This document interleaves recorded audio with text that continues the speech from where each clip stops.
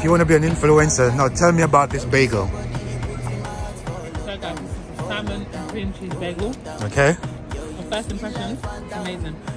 Okay. They put enough salmon in there. Normally you get salmon cream cheese bagel.